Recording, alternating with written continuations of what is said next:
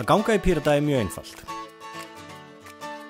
Þú ferði inn á www.piratar.is ferði í flippan um Pírata og smellir þar á ganga í Pírata.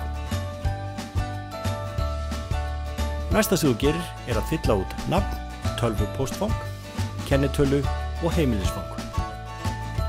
Þú velur þér aðeldafélag. Þú ákveður hvort þú viljir ganga í unga pírata eða ekki. Síðan ítur á senda skráningu og þá ertu gengir í pírata.